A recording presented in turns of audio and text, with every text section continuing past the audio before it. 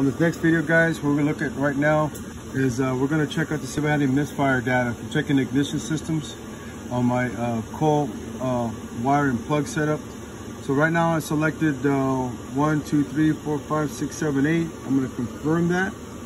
And it's gonna give me the only the areas that I need to look at as far as any cylinder misfire. I have my vehicle running right now and I've got no misfires. If I had any misfires, it would show right here how many I had on there.